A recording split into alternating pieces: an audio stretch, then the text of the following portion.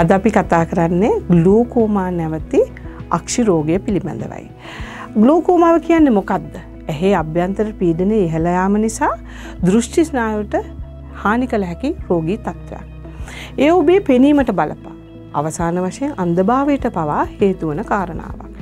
ඇහේ ආමය රසෙනම් තරලයක් තිපදවනවා. මේ තරණය පිටවන මාර්ගය අවහිරවීමකින් තමයි මේ රෝගිතත්වය උදාවෙන්නේ. ගලෝකෝමාව හටගන්නේ මේ තරලය ඇහෙන් නිසි ආකාරය පිට නොවී ඒ තරලය ඇහැතුළම එකතුවීමෙන් ඇහේ පීඩන ඉහෙල්ලයාමක් යාම්ක ප්‍රතිඵලයක් සැටියටයි.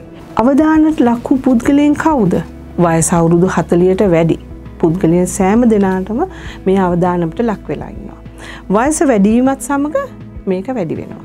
ලේජාතියකට ගලෝකෝමාරයෝගය වැලදී තියෙනවා නම් ඒකෙනත් අවධානමට ලක් වූ පුද්ගලයෙක්.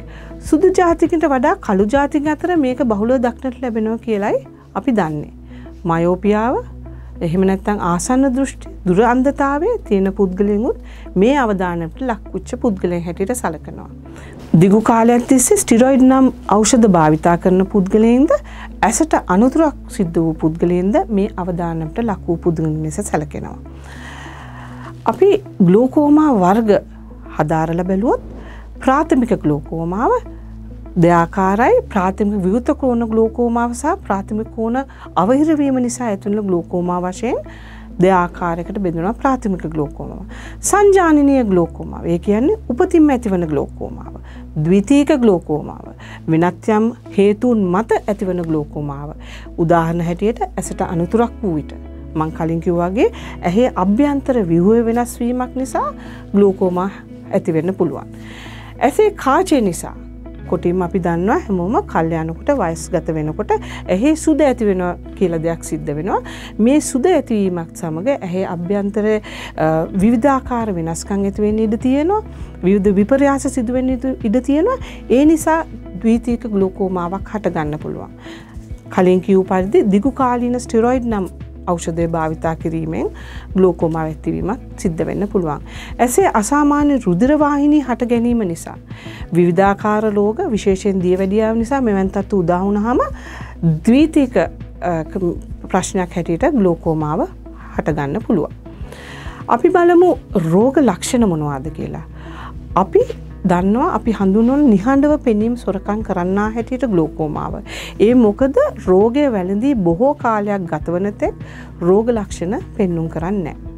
කාලයක් යනකොට ප්‍රතිකාර නොලබවන් ගේ පර්යන්ත පෙනීම නැතිවෙන්න ඉට තියෙන පර්යන්ත පෙනීම කියන්නේ අපේ වටේ පෙනීම එහෙම නැත්තම් පැති පෙනීම. අපි යමක් බලනකොට අපි ඒ දෙස පමණක් නුවේ අපේ වටේ යමක් සිද්ධ වෙන දේවලුත් අපේ ඇහැට ග්‍රහණය වෙනවා. ග්ලෝකෝමාම වැල්දු කෙනෙකි මේ පැති පෙනීම තමයි මුලින්ම නැති වෙලා යන්න පටන් ගන්නේ. අවසානයේ අන්දභාවය දුනත් ඇතිවෙන්න පුළුවන්. ප්‍රාථමික කෝන අවහිරවීම ඇතිවෙන ගලෝකෝමාම එහෙම නෙවෙයි. ඒක ෂණික රෝග ලක්ෂණ පෙන්නුම් කරනවා. ඇහේ පෙනීම බාධාවීම, අක්ෂි වේදනාව, ඇහැ රතුවීම, ආලෝක ප්‍රවාහට දේදුණු ආකාරයේ වලලු පෙනීම, ඕක්කාරය වමනය, ස්වච්ඡයේ දීප්තිමත් භාවය නැතිවීම වැනි විවිධ රෝග ලක්ෂණ පෙන්නුම් කරන ග්ලෝකෝමාවක් හැටියට මේ කෝණය අවහිරවීම නිසා ඇතිවන ග්ලෝකෝමාවට සැලකන්න පුළුවන්. සලකන්න පුළුවන්. සංජානනය ග්ලෝකෝමාව. කුඩා බිලිඳුන්ගේ දක්නට ලැබෙන ගලෝකෝමාව. ඒකට හේතුව අම්රැසන පිටවන මාර්ගය නිසියාකාර වර්ධන නොවීමෙන් මේ ගලෝකෝමාව ඇතිවෙනවා. අපි ඇහැ පරීක්ෂා කරනකොට කුඩා දරුවගේ හැ සාමාන්‍ය ප්‍රමාණයට වඩා විශාලයි. ස්වච්චයේ දීප්තිවත් භාවය අඩු වෙලා. පැහැපත් ගතිය අඩුයි. මෙම මෙයට ප්‍රතිකාරයක් හැටට ඖෂධ හෝ සැත්කම් ප්‍රතිකාර තිබෙනවා. ගලෝකෝමා හඳුනාගන්නේ අපි කෙසේද. හොඳම ක්‍රමේ තමයි අක්ෂි වෛදුරෙක් ලවා ඔබගේ ඇස් පරීක්ෂා කිරීම.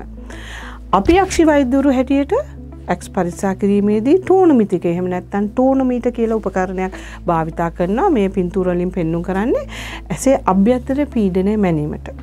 විධාකාර ටෝනමිතික තියෙනවා කුඩා දරුවන්ගේ සිට වැඩිමහලුන්ගේ ඕනෑම පුද්ගලයකගේ ඇසේ පීඩනය පරීක්ෂා කිරීම සඳහා යොදාගත හැකි.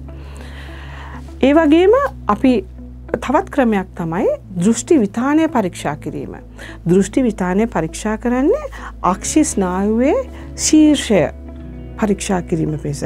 ඒක නිරීක්ෂණය කිරීමෙන් අපි දන්නවා කොතෙක් දුරට ගලෝකෝමාවෙන් මේ අක්ෂිස්නාව හානියක් සිදුවෙලා ඇතිද කියන එක. ගලෝකෝමාව හඳුනාගන්න තවත් ක්‍රමයක් තමයි දෘෂ්ටි ශේත්‍රය විශ්ලේෂණය කිරීම. ඒ ඔබේ පැතිදර්ශනය පරීක්ෂා කිරීම. උපකරණයක් භාවිතාවෙන් අවකාශය ඔබට පේන පැතිදර්ශන පරීක්ෂා කරලා කිනම් ආකාරයකින් මේවා අඳුර වෙලා තියෙනවද කිනම් ආකාරයකින් මේ පැතිදර්ශනයට බලපාල තියෙනවද කියලා ගලෝකෝමාව මේ ක්‍රමෙන් අඳුරගන්න පුළුවන්. අපි මේ පින්තූරය දෙහා බැලුහාම ඔබට පේන අවකාශය මේ වෘතයක් හැටියට අපි ගත්තොත් කළු පාටින් මේ පෙන්නලා තියෙන්නේ ගලෝකෝමාවෙන් අඳුරවෙන කොටස. අනුදුරන කොටස්.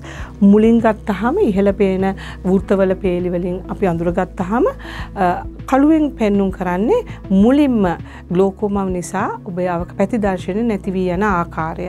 මුලින්ම කොඩා කොටසිකින් නැතිවී ගිහිල්ල ක්‍රමක්‍රමයෙන් මේ කොටස විශාල වෙලා වක්‍රාකාරව මේ කොටස තවත් විශාල වෙලා අවසානය තෙක් දක්වා යනකොට මේ රෝගය පැත්‍රී ගිහිල්ල අවසානය අපි දකින්නේ කුඩා සිදුරක් තුළින් ඔබ දකින ආකාරයයි.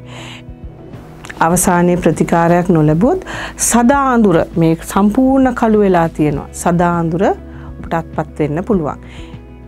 ඒ අපි ගලෝකෝ ප්‍රතිකාරකම කරන ක්‍රමගම කතා කොළොත් ඖෂධ ප්‍රතිකාර ලේස ප්‍රතිකාර එහෙම නැත්තං ගලෝකෝමා සැත්කම්.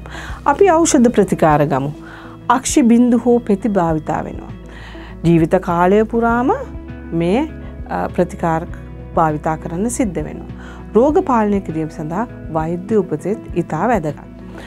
ලේස ප්‍රතිකාර ගත්තොත් මෙතනින් සිදු කෙරෙන්නේ අම්ම රැස පිටවන මාර්ගය කුඩා විවරයක් මගින් විවෘත්ත කරලා ඒ තරලයට යන්න මාර්ගයක් සලස්සාදීමයි. ඒ මගින් ඇක්ෂයේ ඇහේ අභ්‍යන්තර පීඩනය අඩු කරනවා. මෙතනින් පෙන්නුම් කරන්නේ ලේස කරන මාර්ගයෙන් මෙවැනි දෙයක් සිදු කිරීමක රූපයක්. සැත්කම් ප්‍රතිකාරය ඖෂධ මගින් ප්‍රතිඵලයක් නොලත් අවස්ථාවල අපි සැත්කම් ප්‍රතිකාර කරනවා. මේවා බහුල වශයෙන් ලංකාව පවා කරන ප්‍රතිකරමය. මේ රෝගේ වලක්කාගෙන පාලනය කරගන්න කොහොමද.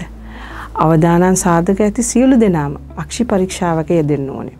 ලෝකොමා රෝගයෙන් පෙළෙන්නෙක් නම් ප්‍රතිකාර උපදෙස් අනුගමනය කරන්න ඕනේ.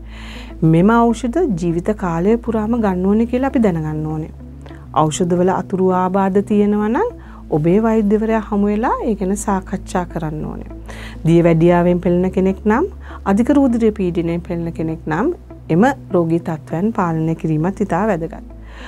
ඔබට මම මේ ගලෝකෝමාව ගැන කියා දුන්නු සුළු කාරණාවල් ටික ඔබේ ජීවිතය ගලෝකෝමාව ඇත් කර ගැනීමට උපකාරි වෙයි කියලා මම බලාපොරොත්තු වෙනවා.